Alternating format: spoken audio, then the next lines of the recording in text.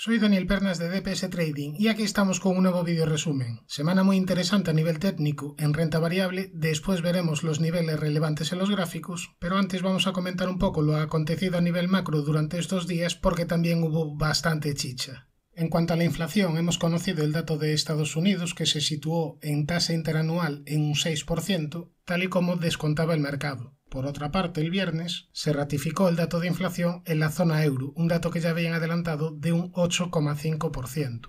Ahora, lo más destacado sin duda de la semana fue la reunión del Banco Central Europeo, donde comunicaron la decisión de subir 50 puntos básicos. Esta ha sido una decisión que ha suscitado bastante debate sobre si ha sido adecuada o no, y de hecho en la encuesta que realicé recientemente en el canal el porcentaje de votos está siendo muy repartido. Argumentos hay en los dos sentidos. No estaba muy claro que Lagarde finalmente siguiese adelante con su plan anunciado en la reunión anterior, porque podía verse tentada a una subida menor o incluso a mantener tipos para aliviar un poco las tensiones financieras que se están viviendo. Desde mi punto de vista, Creo que acierta porque haber hecho lo contrario para mí sería dar una clara señal de desconfianza a los mercados. Si no llega a hacer lo que había anunciado, yo como inversor me preguntaría ¿Tan mal están las cosas como para que tenga que desdecirse? ¿Tan mal están las cosas que controlar la inflación pasa a un segundo plano? Es decir, creo que subir tipos otros 50 puntos básicos es el mal menor. Para mí la equivocación no viene ahora, sino que se deriva de la reunión anterior por haber anunciado ya en ese momento una próxima subida de 50 puntos. Por un lado lo entiendo, en cuanto que Lagarde quería dar una imagen de firmeza para combatir las expectativas inflacionistas, pero por otro lado, ¿por qué atarse a una subida concreta de 50 puntos básicos? En su día comentamos que no lo entendíamos mucho y ahora le está pasando factura.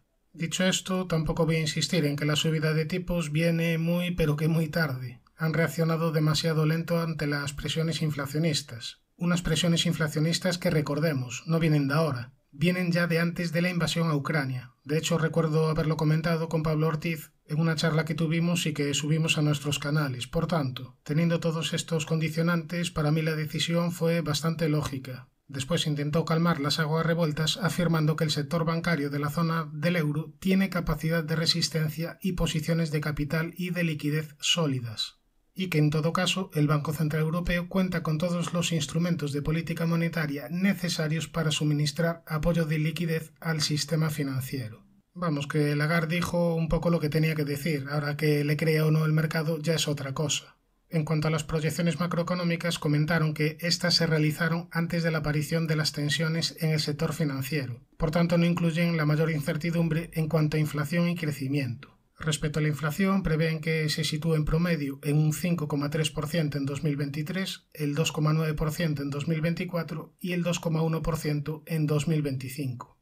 Respecto a la inflación subyacente, sin tener en cuenta energía y alimentos, esperan que se sitúe en una media del 4,6% en 2023, niveles por encima de lo estimado en las proyecciones de diciembre. Posteriormente descendería hasta el 2,5% en 2024 y hasta el 2,2% en 2025. Las proyecciones para el crecimiento en 2023 las han revisado al alza hasta una media del 1%. Esto sobre todo debido al descenso de los precios de la energía. Por otro lado, los expertos del Banco Central Europeo esperan que el crecimiento repunte posteriormente en mayor medida, hasta situarse en el 1,6%, tanto para 2024 como en 2025. Sin embargo, este repunte de crecimiento de 2024 y 2025 es más débil del que habían estimado en las proyecciones de diciembre, debido a la orientación más restrictiva de política monetaria. Respecto al programa de compras de activos APP y el programa de compras de emergencia frente a la pandemia, comentaron que el primero, es decir, el programa de compras de activos APP, irá descendiendo mensualmente. El descenso será en promedio en unos 15.000 millones de euros mensuales, esto hasta final de junio de 2023. Ya el ritmo posterior lo van a determinar más adelante. Sin embargo, respecto al otro programa, no va a haber novedades si es que prevén reinvertir todo lo que vaya venciendo al menos hasta final de 2024. Esto respecto a esta semana. Respecto a la próxima semana, la cita clave va a ser el miércoles 22, donde la Fed comunicará su decisión en cuanto a tipos de interés. Recordamos que en la reunión anterior había subido 25 puntos básicos. Veremos en esta si continúan subiendo tipos o si los mantienen en espera de que se vayan viendo los efectos en la economía de unas subidas tan fuertes en tan poco tiempo. Por otro lado, además del nivel que fijen en tipos de interés, va a ser muy interesante ver cómo lo van a comunicar y qué expectativas tienen de cara a futuras reuniones. Si de mí dependiese, dejaría los tipos de interés tal como están, para ver un poco cómo la economía va digiriendo todos estos efectos sin perjuicio de que en un futuro pudiera volver a incrementarlos. Pero bueno, veremos lo que hacen, lo comentaremos la próxima semana, porque ahora sí, ya sin más dilación, vamos a ver lo más importante, que es lo que nos marcan los gráficos. Dos segundos para el disclaimer, arrancamos.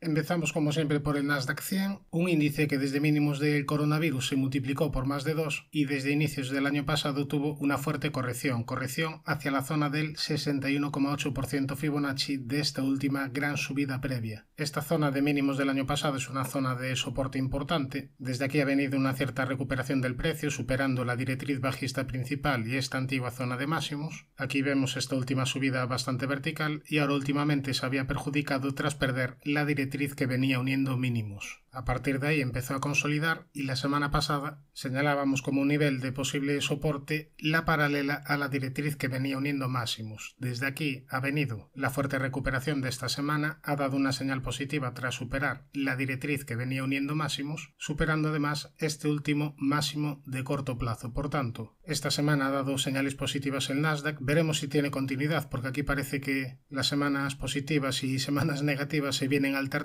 pero ahora nos vamos a ir al gráfico horario para ver qué niveles a tener en cuenta de cara a esta semana. Bueno, pues aquí tenemos el gráfico donde vemos claramente que se ha superado la directriz que venía uniendo máximos e incluso podríamos marcar objetivo por canal descendente roto al alza. El objetivo alcista sería hacia la zona de los 12.953 puntos aproximadamente. Eso sí, por el camino tendría la zona de resistencia de estos antiguos máximos en el entorno de los 12.872. Tiene primera zona de resistencia de corto plazo los máximos de esta vela que dejó en máximos, es decir, niveles de 12.683 y como primera zona de soporte yo vigilaría la media de 200 sesiones en horario y esta zona entre los 12.200 12.250 puntos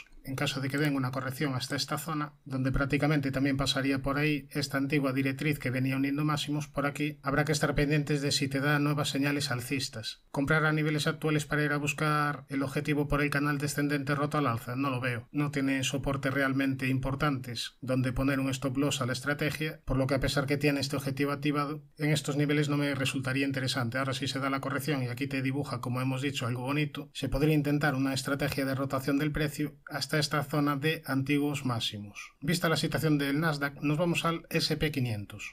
Bien, pues aquí tenemos el gráfico del SP500, un índice que ha corregido al 50% Fibonacci de la subida previa iniciada en mínimos del coronavirus, al igual que el Nasdaq también superó la directriz bajista principal, aunque ahora, a diferencia del Nasdaq, la media de 200 sesiones es la primera zona de resistencia. Volviendo al gráfico del Nasdaq, fíjate que aquí la media de 200 sesiones ya ha actuado de soporte. En cambio, en el SP500, aquí esta zona es la primera zona de resistencia. Después ya tendríamos la directriz que viene uniendo máximos, niveles entre 4080 y 4105, y después estos antiguos máximos en el entorno de los 4195. Como positivo es que de momento hemos respetado niveles de 3.764 y es que perder esta zona supondría quebrar la secuencia de mínimos y máximos crecientes. Respecto al Dow Jones, también tuvo una corrección proporcional a la subida previa iniciada en mínimos del coronavirus. En este caso la corrección llegó a la zona entre el 38,2 y 50% Fibonacci y aquí avisábamos de que podían venir subidas tras la activación de esta pequeña figura de doble suelo. De hecho, en ese momento decíamos que la clave estaba en el Dow Jones y era capaz de superar este máximo de corto plazo. Bueno, superó este máximo y a partir de ahí vinieron subidas al igual que en otros índices americanos. Después aquí máximos te dibujó una divergencia bajista, divergencia que acabó cumpliendo, eso sí por el camino también te dibujó una figura de doble suelo que acabó cumpliendo y una vez que cumple el objetivo de doble suelo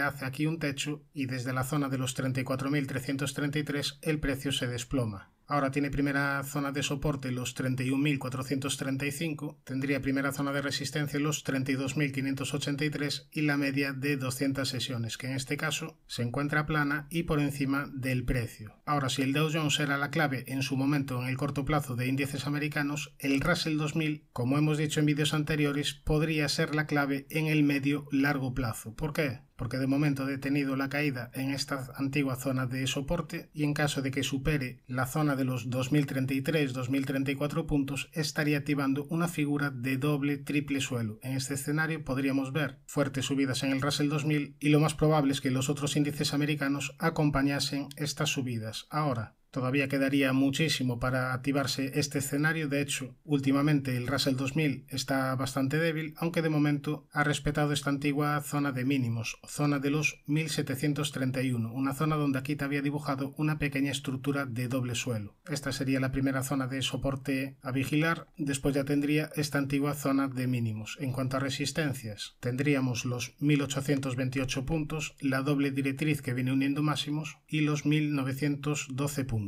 Nos vamos ahora ya a índices europeos. Vamos a empezar por el DAX. Esta semana los índices europeos lo han hecho peor que los americanos. Aquí tenemos al DAX que frenó las subidas en niveles de máximos anteriores y tras perder este último mínimo de corto plazo, este nivel de soporte que comentábamos en la zona de los 15.150, a partir de ahí han venido estas últimas caídas. En primera instancia funcionó como zona de soporte la zona sombreada amarilla, desde aquí vino un pequeño rebote, pero ya hemos perdido esta zona. Ahora la primera zona de soporte a vigilar serían los 14.650 aproximadamente, después ya la media de 200 sesiones y muy importante no perder estos mínimos en el entorno de los 13.808 aproximadamente. Si nos vamos al Eurostox, también avisó de caídas tras perder el nivel de soporte de los 4.174, activando estructura de doble techo o rectángulo. A partir de ahí caídas, caídas que de momento se detuvieron en la zona de soporte que comentamos, esta zona sombreada gris que proponíamos vigilar, en el entorno de los 4.016 puntos. Desde aquí vamos a ampliar el zoom para verlo mejor. Vino una recuperación del precio y la zona que antes era soporte, es decir, la zona de los 4.174, ahora se convierte en la primera zona de resistencia a superar. De hecho, desde aquí ha venido la corrección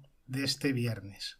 En caso de perder la zona de los 4016, después ya tendríamos la media de 200 sesiones como posible zona de soporte y después niveles de 3.768 puntos. Nos vamos ahora al IBEX, índice español, donde ya la semana pasada decíamos que se había perjudicado tras dejar este hueco bajista y esta semana perdió la directriz que venía uniendo mínimos acelerándose las caídas. No le está beneficiando la composición sectorial porque está muy cargado de bancos y el sector bancario no lo está haciendo demasiado bien, como todos sabemos. Ahora tiene primera zona de soporte en la media de 200 sesiones que además coincidiría con esta antigua zona de máximos, es decir, estaríamos hablando de niveles de 8.547 puntos, después ya tendríamos los 8.284 y niveles de 8.075 puntos, además de niveles Fibonacci de esta última subida. Si nos vamos al FTSE, aquí también decíamos que se había perjudicado tras perder la directriz azul que venía uniendo mínimos, también se perdió la zona de soporte que marcamos, esta zona de antiguos máximos y a partir de ahí caídas más importantes. Ahora como primer nivel de soporte tendríamos los 7294, veremos si es capaz de respetar esta antigua zona de mínimos, después ya tendríamos la zona de 7205 que es el 61,8% de esta última subida. Y por último estos antiguos mínimos en el entorno de los 6000 687. Si nos vamos al MIP, al igual que el IBEX es un índice con bastante componente bancario y que técnicamente aquí se paró en la antigua zona de máximos. Perdió esta zona de soporte que comentamos entre los 26.717 y 26.880 y al igual que otros índices europeos se fue a buscar la primera zona de soporte, desde aquí rebotó y el rebote se muere en la antigua zona de soporte. El viernes, desde la zona de los 26.882, entraron ventas para cerrar de nuevo en la antigua zona de soporte. Veremos si es capaz de respetar niveles de 25.517, en caso contrario podrían venir caídas para testear la zona de la media y para testear esta antigua zona en el entorno de los 24.895. Después ya podría encontrar soporte en estos antiguos mínimos en el entorno de los 23.364. Si nos vamos al índice francés, obviamente pues aquí también perdimos el mínimo de corto plazo en niveles de 7.176 y a partir de ahí también vinieron caídas. De momento estas caídas no han llegado a la primera zona de soporte importante,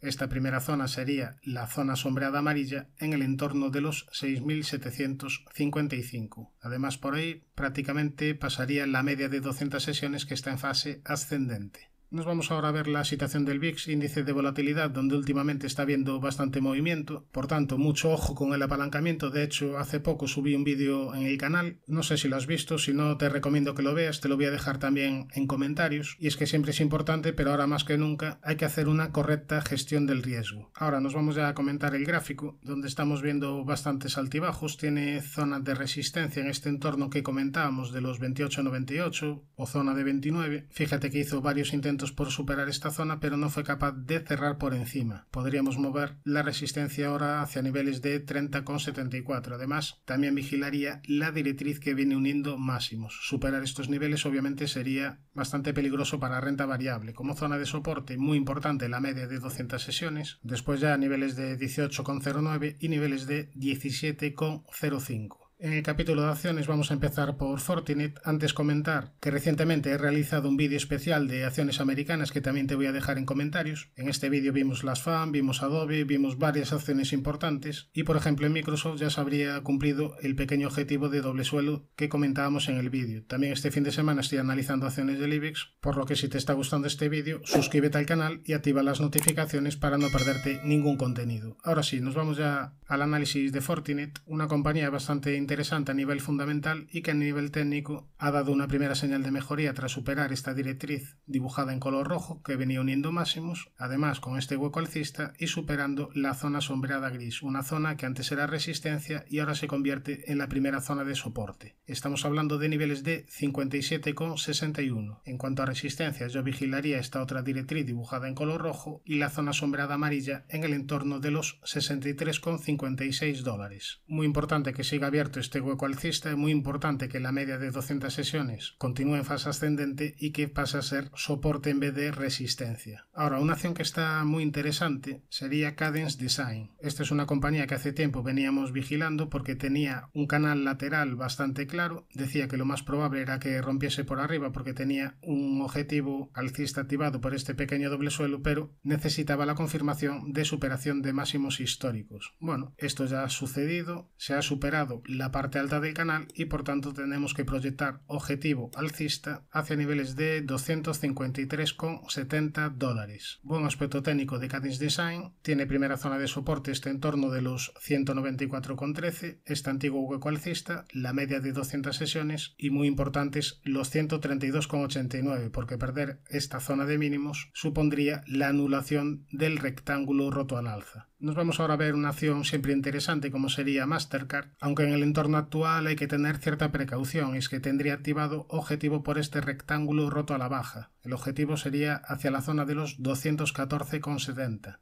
¿Cuándo se anularía el objetivo? En caso de superar esta zona de máximos en el entorno de los 399,49 dólares. Eso sí, aquí en la zona del 61,8% de esta última subida dio una pequeña señal alcista. ¿Cuál es esta señal? Que activó una divergencia tras superar niveles de 305,43. A partir de ahí subidas fuertes del precio y ahora el comportamiento está siendo bastante lateral. Tiene primera zona de soporte, el entorno entre los 335,82 y 340 dólares. Primera zona de resistencia, esta directriz que viene uniendo máximos y niveles de 384,23 dólares. Nos vamos ahora a su competencia, nos vamos a analizar Visa, una compañía que al igual que Mastercard también avisó de las últimas subidas, en este caso tras la activación de una pequeña figura de doble suelo, además con esta vela bastante potente desde mínimos. A partir de ahí subidas bastante interesantes, se superó una zona de resistencia importante como es esta zona sombreada amarilla, aunque aquí en máximos te dejó una vela que indicaba que al menos podría venir una pequeña consolidación. Esta vela marca resistencia en el entorno de los 237,76 dólares,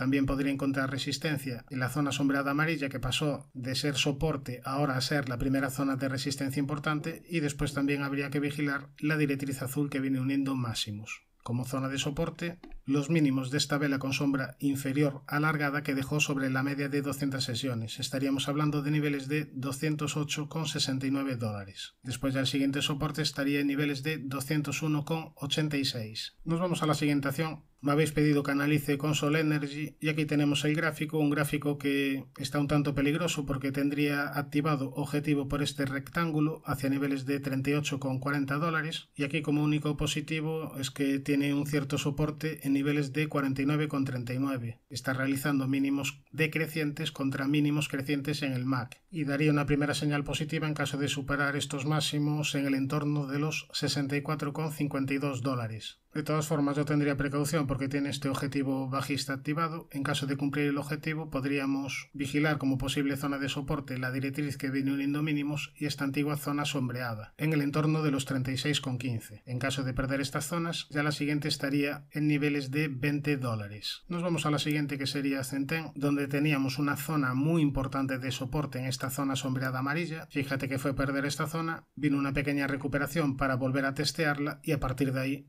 del precio. La media de 200 sesiones está con tendencia negativa, en fase descendente. Aquí incluso podríamos hablar de un primer impulso bajista y tras perder este nivel se habría activado un segundo impulso bajista que ya estaría cumplido. Y bueno, ahora ya estamos entrando en bastante sobreventa. En algún momento puede venir un rebote, pero mientras la media de 200 sesiones siga en fase descendente y mientras no te activa alguna estructura, yo seguiría teniendo precaución. Primera zona de resistencia, la zona sombreada amarilla, después la media y niveles de 88,5 nos vamos a otra acción que me habéis pedido que sería Tata Motors, gráfico semanal con la media de 200 sesiones en fase ascendente. Esta sería la primera zona de soporte en el entorno de los 22,12 dólares, primera zona de resistencia la directriz que une máximos y este máximo en el entorno de los 31,28 dólares. Ahora nos vamos a acciones europeas. En este caso vamos a empezar por una acción que está muy interesante como sería Mercedes-Benz, una compañía que hemos analizado en anteriores ocasiones y que ya habría cumplido objetivo por este triple suelo hacia niveles de 72,85.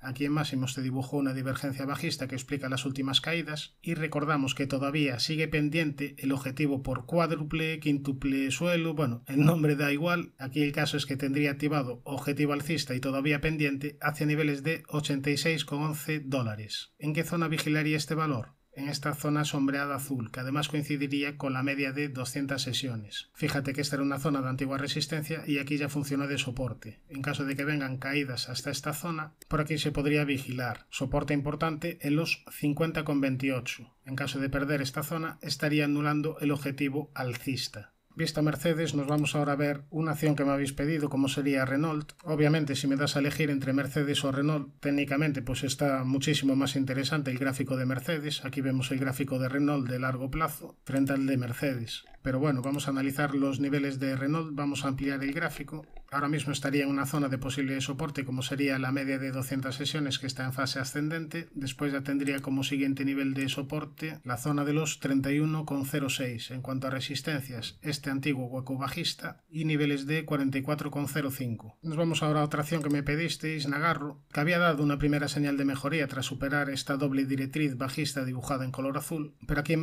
te dibujó un pequeño canal ascendente que rompió a la baja, perdiéndose este último mínimo de corto plazo. Además, las velas eran bastante impulsivas, dejando varios huecos bajistas por el camino, y con todo esto el valor no fue capaz de respetar una zona de soporte importante como era esta zona sombreada amarilla. Fíjate que rompió con claridad esta zona y de nuevo cuando vuelva a testearla el precio se ve rechazado. Por tanto, primera zona de resistencia importante a superar, niveles de 110,20 dólares. Zona de soporte importante, niveles de 83,30. Veremos si continúa la consolidación, si continúan las caídas hasta esta zona y aquí te dibuja algún tipo de señal alcista. De momento precaución porque está demostrando debilidad. Yo al menos le exigiría que superara la zona sombreada amarilla y que la media, en vez de funcionar de resistencia, se gira al alza y empieza a funcionar de soporte. Nos vamos a la siguiente acción que me habéis pedido, Philips una compañía que desde máximos del 2001 ha tenido caídas muy pero que muy importantes, de máximos a mínimos perdió un 73% y de momento estas caídas han frenado en la directriz alcista principal que viene uniendo mínimos. Ahora si ampliamos el zoom, vemos muy claros niveles de soportes y resistencias. Es muy importante que no pierda esta zona sombreada amarilla, esta zona de los 1478 que antes era resistencia y aquí ya funcionó varias veces de soporte. Y en cuanto a resistencias tendríamos la media de 200 sesiones. Es muy importante que la media se gira al alza y en vez de resistencia empiece a funcionar de soporte. Y después ya tendríamos como nivel a superar la zona de los 16,83 euros. Aquí mínimos hasta podríamos hablar de una especie de doble suelo con objetivo alcista activado hacia niveles de 17,35, pero por lo menos a mí no me gusta entrar con la media de 200 sesiones en contra. Si pierde la zona sombreada amarilla, después el siguiente nivel relevante a vigilar sería la directriz que no hay mínimos y después ya la zona de los 12,12.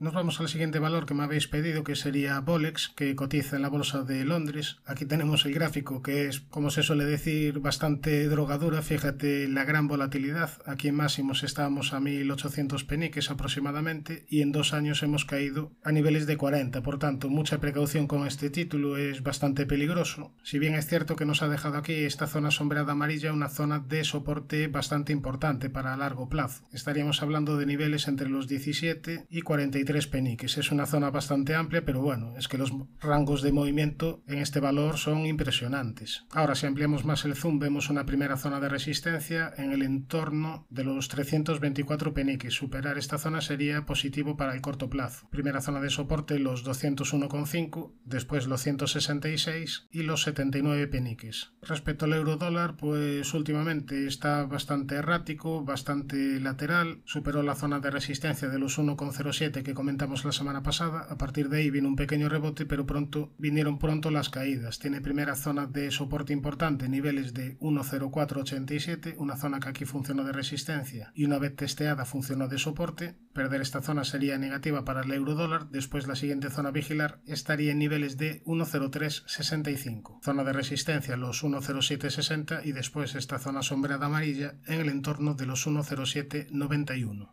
En materias primas vamos a empezar por el oro, que ha tenido una semana bastante positiva. La media de 200 sesiones en diario ha funcionado perfectamente de soporte, incluso aquí habría activado una pequeña estructura de doble suelo. Se superó este pequeño máximo de corto plazo y a partir de ahí subidas bastante fuertes, superando la resistencia de los 1975 dólares. Además, lo ha hecho con una vela bastante impulsiva, incluso podríamos marcar un segundo impulso alcista hacia niveles de 2163 puntos, pero por el camino tiene una zona de resistencia importante en esta zona de máximos históricos. Estaríamos hablando del entorno entre los 2.069 y 2.089 dólares. Soporte importante la media de 200 sesiones y estos últimos mínimos en el entorno de los 1.810. Respecto a la plata, también ha tenido subidas interesantes esta semana, aunque aquí la estructura es bastante diferente. En este caso hemos perdido el 61,8% de lo que llevábamos de subida y no hemos superado el máximo anterior en niveles de 24,75. Además, también podría encontrar resistencia en esta doble directriz que viene uniendo máximos.